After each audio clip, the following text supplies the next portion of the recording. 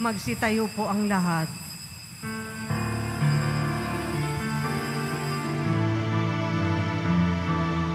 Ako'y kaawaan mo, mahal kong Diyos.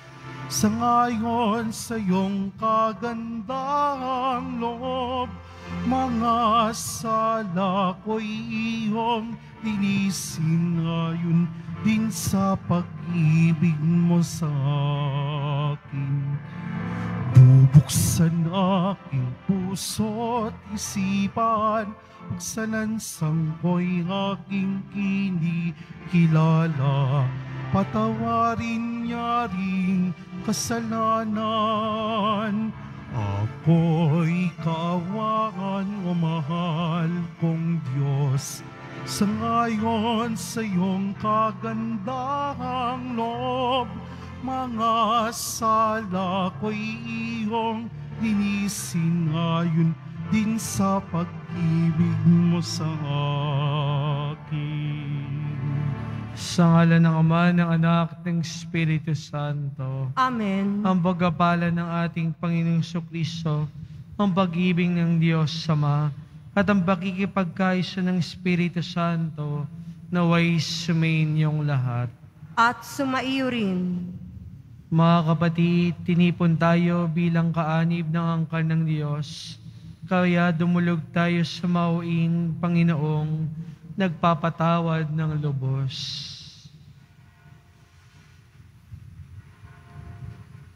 Sinugong tagapagpagaling sa mga nagsisisi, Panginoon, kaawaan mo kami.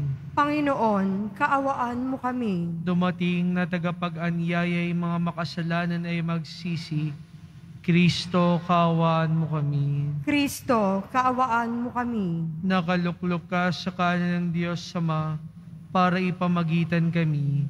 Panginoon, kaawaan mo kami. Panginoon, kaawaan mo kami. Kaawaan tayo ng mga pangyarihang Diyos. Patawarin tayo sa ating mga kasalanan at patnubayan tayo sa buhay na walang hanggan. Amen. Manalangin tayo. Ama naming makapangyarihan, dito pa man sa lupang ibabaw, kami pinagsasalo mo na sa mga nakalaan sa kalangitan. Pangasiwaan mo ang buhay namin araw-araw, upang sa pamumuhay sa iyong piling sa kaliwanagan, kami ay iyong maakay. Sa pamagitan ni Yesu Kristo kasama ng Espiritu Santo, magpasawalang hanggan. Amen. Magsiupo muna po ang lahat. Pagbasa mula sa aklat ni Propeta Mikas. Patnubayan mo ang iyong bayan, Panginoon, ang bayan na iyong hinirang. Nag-iisa siya sa gitna na matabang lupain. Bayaan mo silang manirahan sa magandang pastulan ng Basan at Galaad. Magpakita ka sa amin ng mga kababaladhan tulad noong ilabas mo sa Ehipto ang iyong bayan. Wala nang ibang Diyos na tulad mo. Pinatatawad mo ang mga kasalanan ng nalabi sa bayan mong hinirang. Hindi ka nagkikimkim ng galit. Sa halip ay pinadarama mo sa kanila ang tapat mong pagmamahal. Muli kang mahahabag sa amin. Lilimutin mo ang mga pagkakasala namin at ihahagis sa kalaliman ng dagat pamamalas mo ang iyong katapatan sa Israel at ang walang maliw na pag-ibig sa angkan ni Abraham, gaya ng iyong ipinangako sa aming mga magulang mula pa noong unang panahon. Ang salita ng Diyos. Salamat sa Diyos. Ang ating mahabaging Diyos ay nagmamagandang loob Ang ating mahabaging Diyos ay nagmamagandang loob. Panginooy papurihan, purihin mo kaluluwa. Ang pangalan niyang banal, purihin mo sa tuwina. Ikaw aking kaluluwa. Ang Diyos ay papurihan at huwag mong linimutin yung kanyang kabutihan. Ang ating mahabaging Diyos ay nagmamagandang loob. Ang lahat kong kasalanay, siya ang nagpapatawad. Ang anumang aking sakit, ginagamot niyang lahat. Sa bingit ng kamatayan, ako ay inililigtas at pinagpapala ako sa pag-ibig niya't habag. Ang ating mahabaging Diyos ay nagmamagandang loob. Banayad nga kumagalit, hindi siya nagtatanim. Taglay yaong niyang galit, hindi niya kinikimkim. Kung siya ay magparusa, di katumbas ng pagsuway, di na tayo sinisingil sa nagawang kasalanan. Ang ating mahabaging Diyos ay nagmamagandang loob. Ang agwat ng langit at lupay, sukatin may hindi kaya. Gayon ang pag-ibig ng Diyos sa may takot sa Kanya. Ang silangan at kanluran kung gaano ang distansya, gayong-gayon ang pagtingin sa sinumang nagkasala. Ang ating mahabaging Diyos ay nagmamagandang loob. Magsitayo po ang lahat.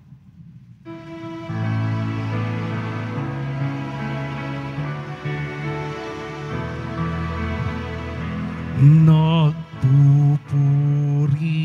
kami sa'yo, Panginoong Yesu Kristo. Nagpupuri kami sa'yo, Panginoong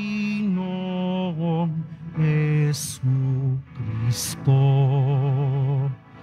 Babalik ako sa Ama at aamuin ko siya. Sasabihin ko sa Kanya, ako po ay nagkasala sa Diyos at sa iyong pagsinta. Nagpupuri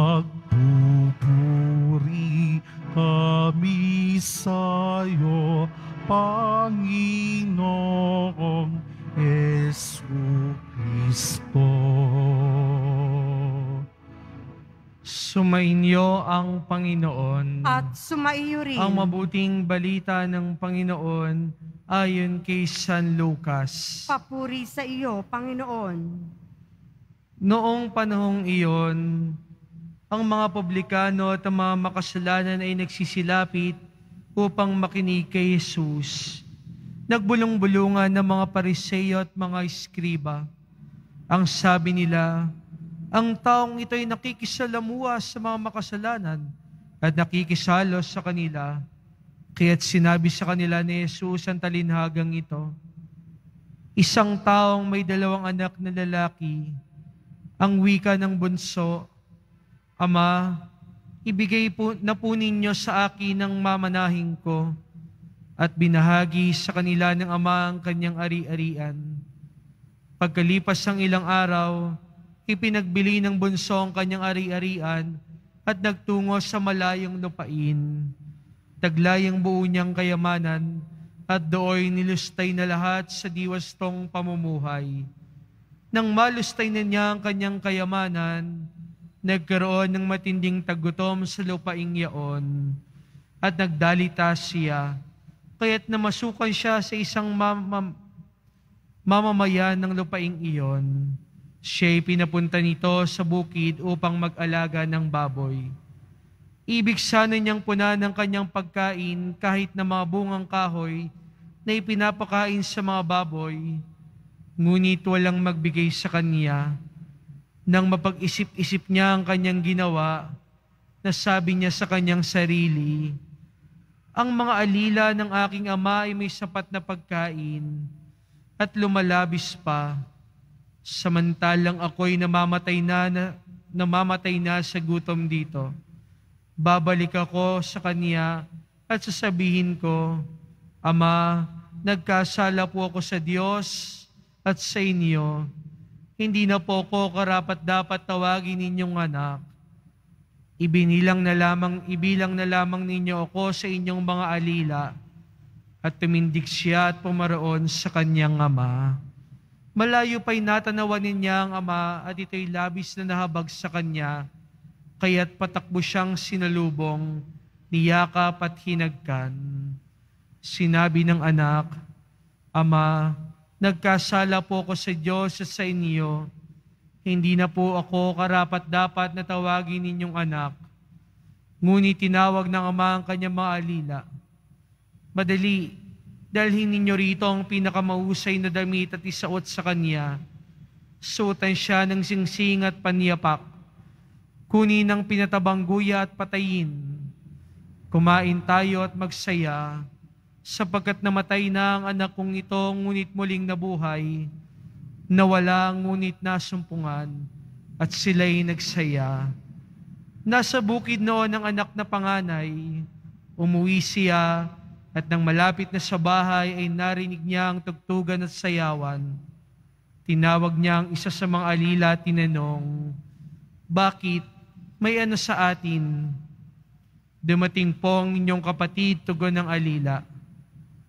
Ipinapatay ng inyong ama ang pinatabang guya sapagkat nagbilik siyang buhay at walang sakit. Nagalit ang panganay at ayaw itong pumasok sa bahay, kaya't lumabas ang kanyang ama at inamo-amo siya. Ngunit sinabi nito, Pinaglingkuran ko po kayo sa loob ng maraming taon at kailanman hindi ko kayo sinuway. Ngunit ni minsan hindi ninyo ako binigyan ng kahit isang bisirong kambing para magkatawaan kami ng aking mga kaibigan. Subalit nang dumating ang anak ninyong lumustay ng inyong kabuhayan sa masasamang babae, ipinagpatay pa ninyo ng pinatabang guya. Sumagot ang ama, Anak, lagi kitang kapiling at lahat ng ari-arian ko'y sa iyo. Ngunit dapat tayong magsaya at magalak sapagkat namatay na ang kapatid mo, ngunit muling nabuhay, nawala, ngunit nasumpungan.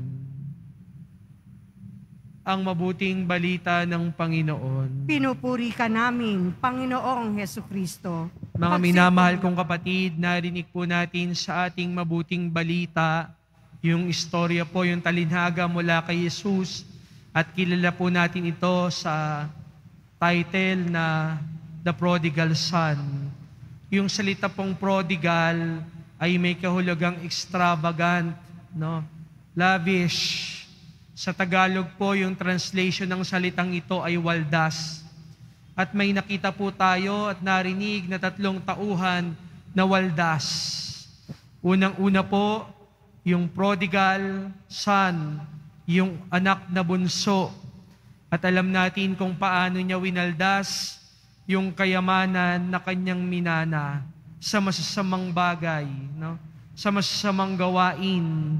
Yung kanyang minana mula sa ama, ginamit niya upang paligayahin yung kanyang sarili at paniwalain yung kanyang sarili na siya'y malaya. Hindi po ba sa maraming pagkakataon, ganun, ganito din yung ating pag-iisip? No? Lalo na yung mga gustong makaalis sa poder ng kanilang mga magulang, ano yung naiisip? No? Ako'y magiging malaya pag ako'y umalis. Ako'y magiging malaya pag nagagawa ko na yung gusto ko. Ako'y magiging malaya kapag finally ako na yung nakakapagdesisyon para sa aking sarili. Ako'y malaya kapag ka yung mga bagay na hindi ko nagagawa dati, nagagawa ko na. Yan po yung pamantayan natin ng pagiging malaya, no? pagiging independent. No? Pagiging malaya kapag ka yung ating hinahangad, ginagawa, ating nasa isip, ay atin ang nagagawa ng walang kumukontra. At mga minamahal kong kapatid, ginawa tayong malaya ng Diyos. Kaya nga, kahit na ang pipiliin nating desisyon ay makakapahamak sa atin, hindi tayo nakakarinig ng salita mula sa langit. Huwag mong gagawin yan, mali yan, hindi yan tama. Bakit? Dahil tayo'y malaya at ginawang malaya ng Diyos.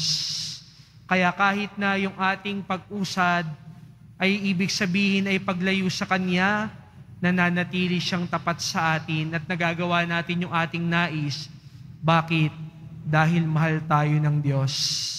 Kaya tayo malaya ay dahil mahal tayo ng Diyos. Ginawa tayong malaya ng Diyos dahil mahal na mahal niya tayo. At ganun din ang pag-ibig, mga minamahal kong kapatid. Hindi tunay ang pag-ibig kung hindi ito malaya. Kung hindi tayo nakakagawa ng mga gusto nating gawin. Pero sa ating istorya at sa maraming pagkakataon, mga minamahal kong kapatid, ganito yung pag-iisip natin patungkol sa kalayaan. No? Yung magagawa ko. Yung kaya kong gawin kahit yung mali. Pero hindi po tunay na malaya yung isang tao na dahil sa kanyang pagkakamali ay nalimitahan siya. Dahil sa kanyang pagkakamali, siya'y napahamak at napunta doon sa isang lugar na hindi niya gusto. Bakit? Mas pinili niyang magkasala. Pinili niyang sundin yung kanyang kalooban. Parang ganito po yan, no? Malaya tayong sa mga nagdadrive po dito, malaya kayo nakakapag-drive, hindi po ba? Merong mga traffic signs, may traffic lights. Kapag kayong traffic light, nag-green, ibig sabihin go. Kapag ito'y pumula, ibig sabihin stop. Kunyari, pinaglaban mo na ikay ay malaya, papatakubuhin mo yung iyong sasakyan ng mabilis kahit na nasa pula, pag ikay nabanggat na matay, malaya ka ba? Pag ikay nakulong dahil doon, ikay ba'y malaya? Hindi. No? Ganito din yung karanasan ng anak doon sa istorya, doon sa narinig nating talinhaga. Akala niya siya'y malaya, pero nung ginamit niya itong kanyang kayamanan upang magpakasasa sa tawag ng laman, anong nangyari sa kanya sa uli? Anong tingin niya sa kanyang sarili? Nakalimutan niya yung kanyang identity bilang anak. Ituring niyo na lamang po ako bilang alipin. Ituring niyo naman po akong isa lang sa inyong mga lingkod. At ganun din yung karanasan ng panganay na anak.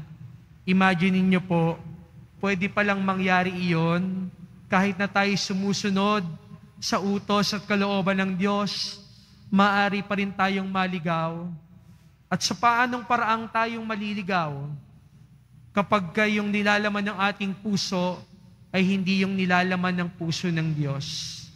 Kapag ka hindi nilalaman ng ating puso ang Diyos, maaari pa rin tayong maligaw kahit araw-araw tayo nagsisimba, kahit ayaw, araw-araw tayo nagrurosaryo at sinusundan ng ating kalooban.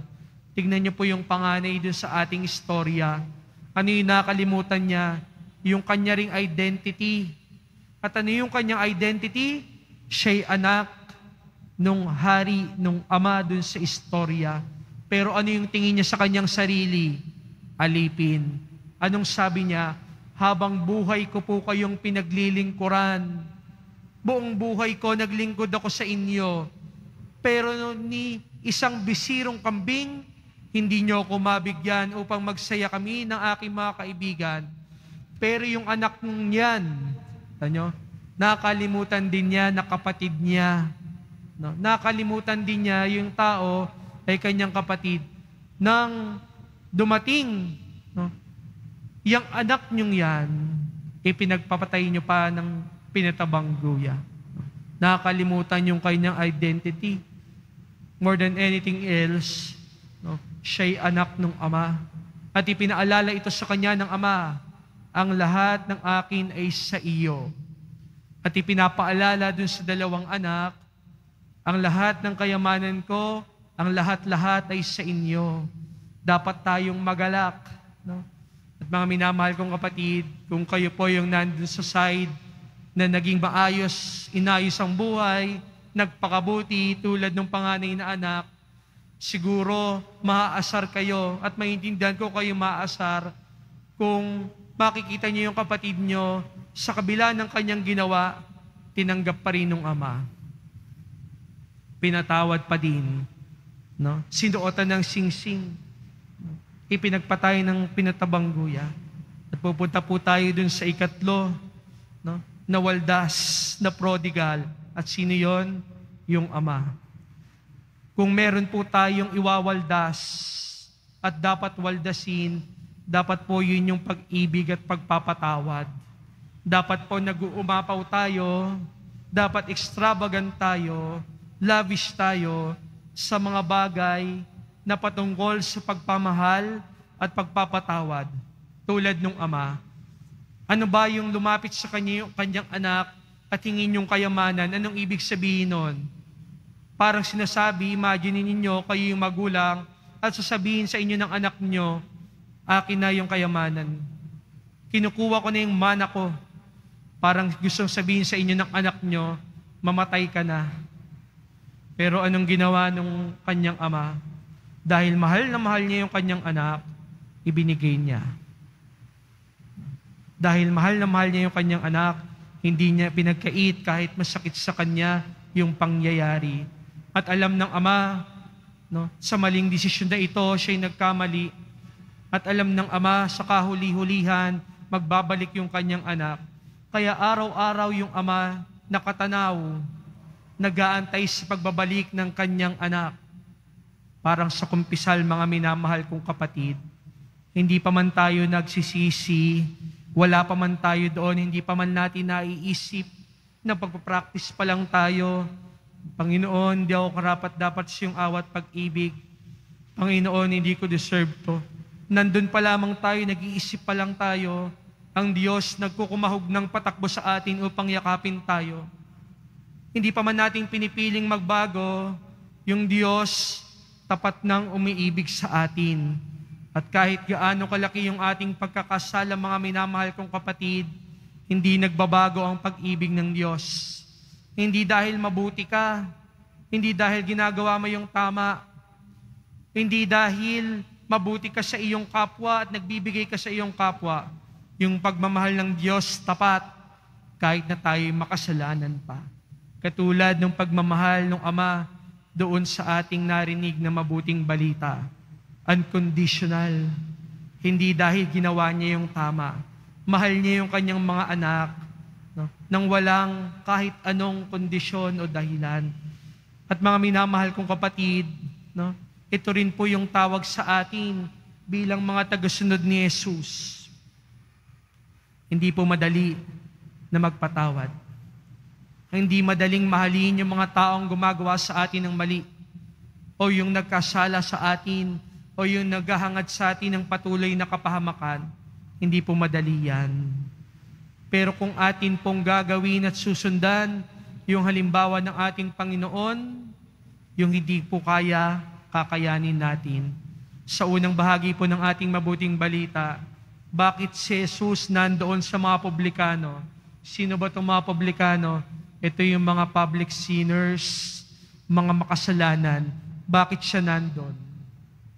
sapagkat sa mata ng Diyos, kahit itong mga makasalanan ayon sa Skriba at Pariseyo, mga anak pa rin niya. Mga minamahal pa rin ng Diyos. Kaya nga sabi dun sa unang ating pagbasa, alalahanin mo, Panginoon, yung ginawa mo sa Ehipto, yung ginawa mong pag-aadya sa amin. Ipinapaalala mga minamahal kong kapatid, sa atin nung pagkakataong iyon, simula pa man nung una, ang Diyos tapat. At hindi natin mababago yon. Hindi natin maaalis na siya'y tapat sa kanyang pag-ibig. Kaya bilang mga tagasunod ng ating Panginoon, yun po yung hamon sa bawat isa sa atin.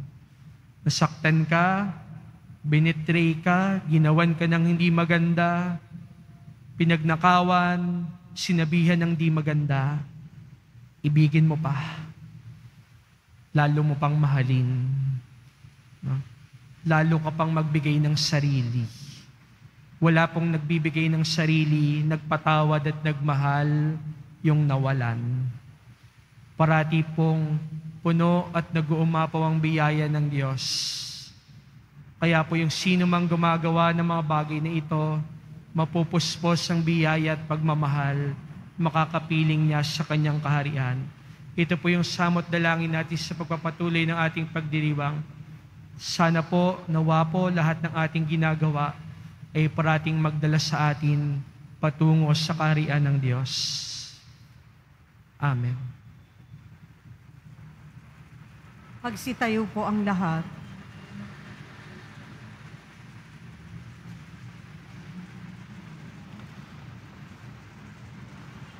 Minamahal kong mga kapatid, ang talinhaga ng waldas na anak ay nagpapahayag sa isang payak, subalit malalim na paraan ng katotohanan ng pagbabagong loob. Sa bawat panalangin ng ating itutugon, Ama, ibaling mo ang aming mga puso sa iyo. Ama, ibaling mo ang aming mga puso sa iyo.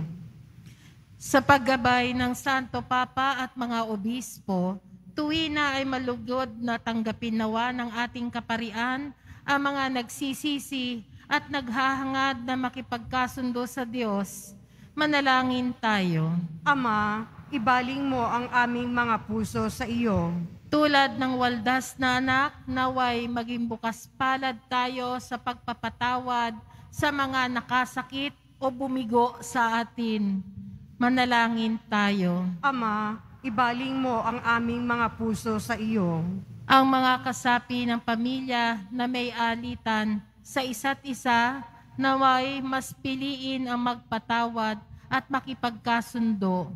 Manalangin tayo. Ama, ibaling mo ang aming mga puso sa iyo. ang mga makasalanan, naway mapukaw ang loob na magsisi at hingin ang kapatawaran sa kanilang mga kasalanan sa sakramento ng kumpisal. Manalangin tayo. Ama, ibaling mo ang aming mga puso sa iyo. Mga minamahal kong kapatid, ating ilapis sa Diyos sa mga personal nating kahilingan. Ipagdasal din natin ang lahat na nag-alay para sa misang ito at ang lahat ng mga kaluluwa sa purgatorio. Manalangin tayo. Ama, ibaling mo ang aming mga puso sa iyo. Diyos na makapangyarihan, malugod mong nawang tanggapin ang mga panalangin ng mga makasalanan, matapat na nagbabalik sa iyong pag-ibig at habag na hindi nagmamaliw. Hinihiling namin to sa pamagitan ni Kristong aming Panginoon. Amen. Magsiupo po ang lahat.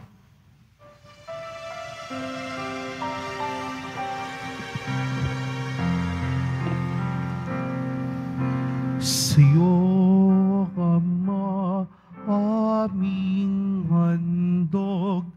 ang tinapay at alak na ito, handog ng iyong bayang sumasamot,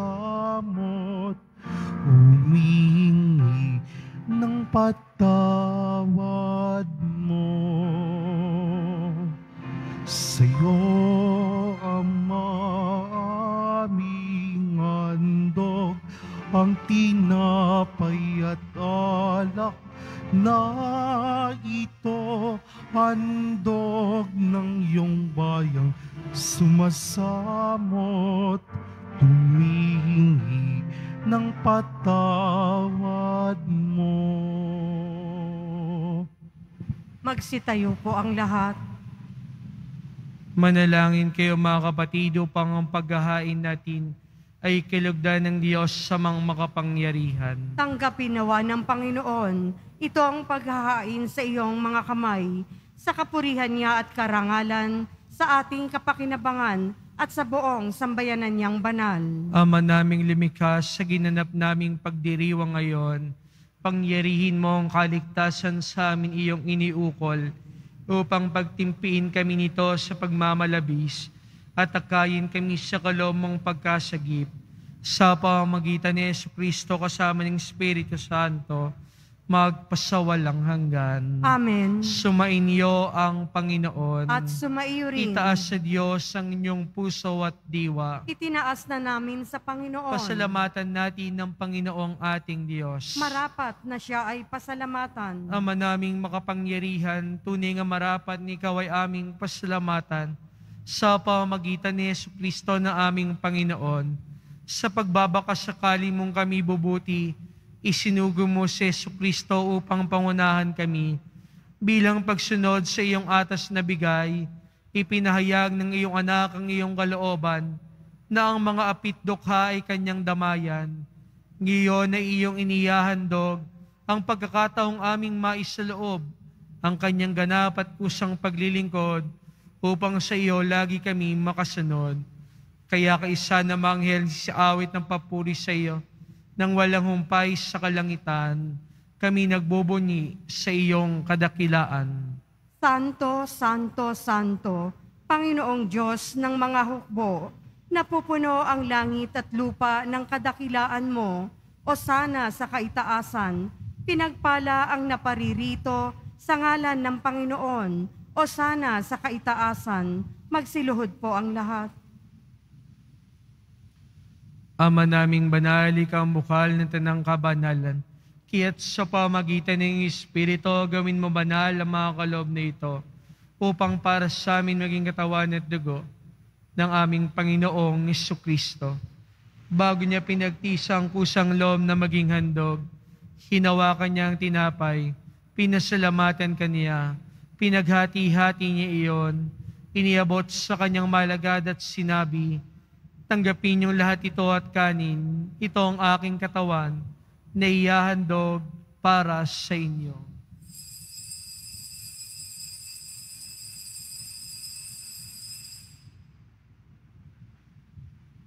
Gayun din naman nang matapos sa ngapunan, hinawakan niya ang kalis. Muli kanyang pinasalamatan. Iniabot niya ang kalis sa kanyang malagad at sinabi, Tanggapin niyo lahat ito at inumin. Ito ang kalis ng aking dugo, ng bago at walang hanggang tipan. Ang aking dugo ni bubuhos para sa inyo at para sa lahat sa kapagpatawad ng mga kasalanan. Gawin niyo ito sa pag-alala sa akin.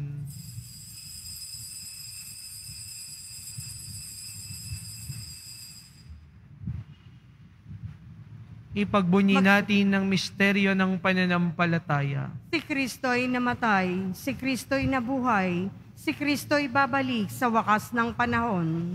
Ama, ginagawa namin ngayon ng pag-alala sa pagkamatay at muling pagkabuhay ng iyong anak. Kaya't iniaalay namin sa iyo ang tinapay na nagbibigay buhay at ang kalis na nagkakaloob ng kaligtasan. Kami nagpapasalamat dahil kami yung minarapat na tumayo sa harap mo para maglingkod sa iyo. Isinasamo namin kaming magkasalo-salo sa katawan at dugo ni Kristo ay mabuklod sa pagkakaisa sa pamamagitan ng Espiritu Santo. Ama, lingapin mo yung simbahang laganap sa buong daigdig. Puspusin mo kami sa pag-ibig. Kaysa ni Francisco na aming Papa at ni Jose na aming Bispo at ng Tanang Kaparian Alalahanin mo rin mga kapatid naming nahimlay na may pag-asang sila'y muling mawabuhay, gayon din ng lahat ng mga pumanaw. Kawan mo sila at patuloyin sa iyong kaliwanagan. Kawan mo at paginabat ng lahat na makasalo sa iyong buhay na walang wakas. Kaysa na mahal na Birheng Maria ina ng Diyos, ng kabiyak ng puso niyang si San Jose, kaysa ng mga apostol ni San Juan Bautista at lahat ng mga banal, na namuhay dito sa daigdig ng kalugod-lugod sa iyo. May pagdiwang nawa namin na pagpupuri sa kararangal mo sa pamagitan ng iyong anak, naming Panginoong Kristo. Sa pamagitan ni Kristo, kasama niya at sa Kanya, ang lahat ng parangal at papuri sa iyo, Diyos sa mga makapangyarihan, kasama ng Espiritu Santo, magpasawalang hanggan. Amen. Sa tagubilin naman nakagagaling na utos sa turo ni Jesus na Panginoon natin at Diyos, ipahayag natin ang lakas loob. Ama namin, sumasalangit ka, sambahin ang ngalan mo, mapasa amin ang kaharian mo, sundin ang loob mo dito sa lupa para nang sa langit. Bigyan mo kami ngayon ng aming kakanin sa araw-araw at patawarin mo kami sa aming mga sala para ng pagpapatawad namin sa nagkakasala sa amin at huwag mo kaming ipahintulot sa tukso at iadya mo kami sa lahat ng masama. Hiniling namin kami Diyos sa lahat ng masama, pagkaloban ng kapayapaan araw-araw, iligtas sa kasalanan, ilayo sa lahat ng kapahamakan, samantalang aming pininanibikan ang dakilang araw ng pagpapahayag ng tagapagligtas naming si Yesu Kristo. Sapagkat iyo ang kaharian at ang kapangyarihan at ang kapurihan magpakailanman. Amen. Panginoong Kristo, sinabi mo sa mga apostol, kapayapaan ang iniiwan sa inyo, ang aking kapayapaan na ibinibigay ko sa inyo. Tungayin mo aming pananampalataya at huwag ang aming pagkakasala. Pagkalooban mo kami ng kapayapaan, pagkakaisa ayon sa iyong kalooban. Kasama ng Espiritu Santo, magpasawalang hanggan. Amen. Ang kapayapaan ng Panginoon ay laging sumainyo. At sumaiyo rin. Magbigayan kayo ng kapayapaan sa isa't isa. Peace be with you. Kordero ng Diyos na nag-aalis ng mga kasalanan ng sanlibutan, maawa ka sa amin. Kordero ng Diyos na nag-aalis ng mga kasalanan ng sanlibutan, maawa ka sa amin. Kordero ng Diyos na nag-aalis ng mga kasalanan ng sanlibutan, ipagkaloob mo sa amin ang kapayapaan. Magsiluhod po ang lahat.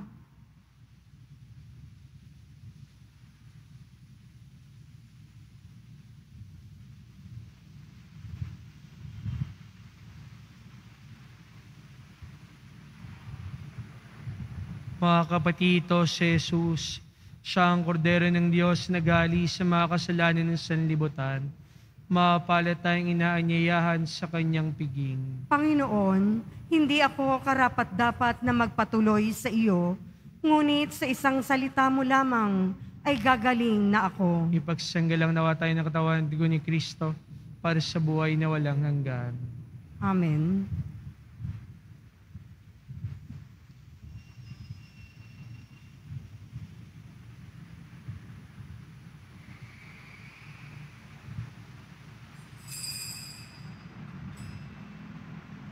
Para sa lahat ng tatanggap na banal na komunyon, ang tamang paraan ng pagtanggap ay kaliwang kamay sa ibabaw ng kanang kamay at sasagot po tayo ng amen. Pagkasabi ng pari o ng lay ministers ng katawan ni Kristo at isubo sa bibig bago umalis sa harapan ng pari o lay minister. Sumunod po tayo. Maraming salamat po.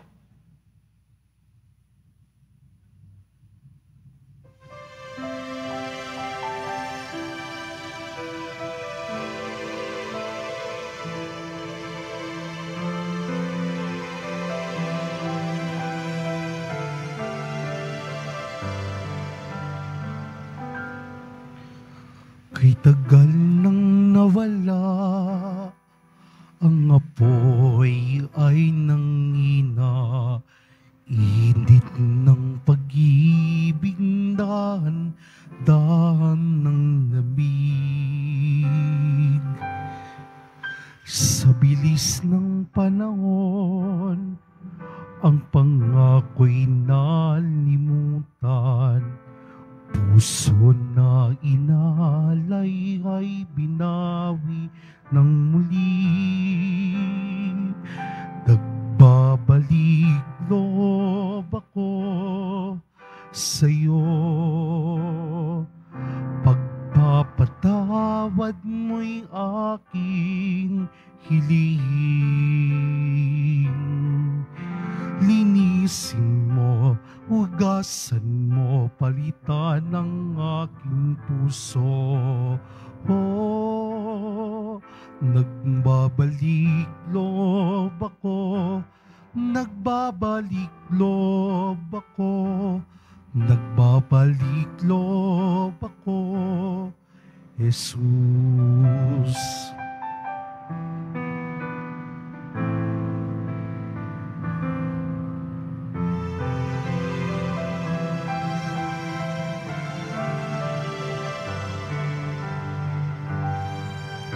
Kay tagal nang nawala Ang apoy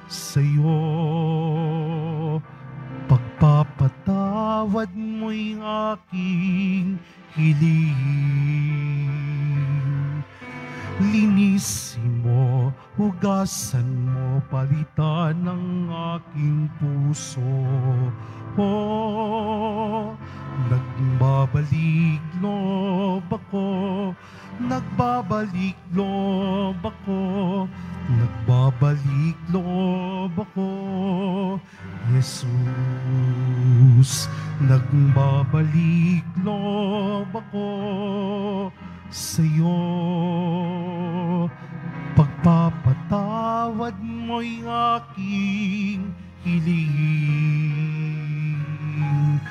Ninisin mo, hugasan mo, palitan ng aking puso. Oh, nagbabalik loob ako, nagbabalik loob ako, nagbabalik loob ako, Jesus.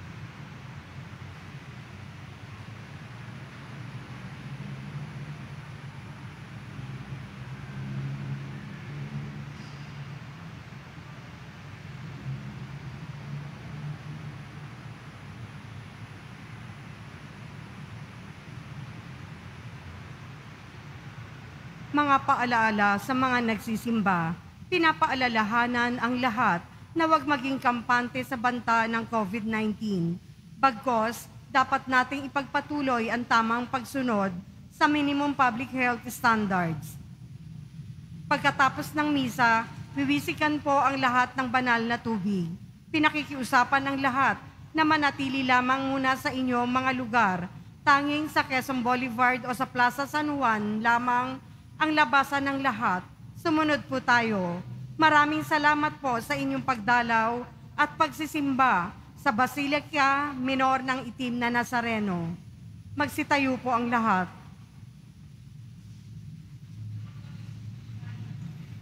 Manalangin tayo. Ama naming mapagmahal, lubos nawang manaig sa aming galooban ang tinanggap naming banal na pakikinabang upang mapagsaluan namin ang ganap na bunga nito sa pamagitan ni Yesu Kristo kasama ng Espiritu Santo magpasawalang hanggan. Amen. Sumainyo ang Panginoon. At sumaiyo rin. Mahal na pong Jesus Nazareno, inihayag mo sa pamamagitan ng krus ang walang maliw na pag-ibig ng Diyos sa katauhan. Pakinggan mo ang kahilingan ng iyong angkang nagsusumamo sa iyo. Makamtanawa nila ang inyong katugunan at tanggapin ang kasagutan ng may utang na loob na tinatanaw. Basbasan din po ninyo ang mga daladala nilang mga imahen at dasalan. Sa pamamagitan ng bendisyon na ito, naway maalala nila ang mga pangako nila noon sa binyag, ni ikaw ay kanilang iibigin at paglilingkuran bilang Panginoon magpasawalang hanggan. Amen. At pagpalain kayo ng mga pangyarihang Diyos, Ama, Anak at Espiritu Santo. Amen. Mayo ko yung taglayang kapayapaan ng pong Jesus Nazareno. Salamat sa Diyos.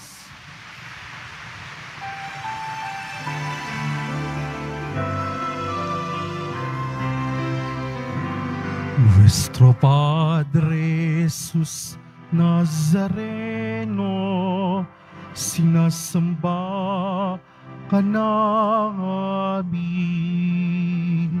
pinipintungo ka namin, aral mo ang aming buhay at kaligtasan, Nuestro Padre Jesus Nazareno, iligtas mo kami sa kasalanan ang krus mong kinamatayan ay sagisag ng aming kaligtasan.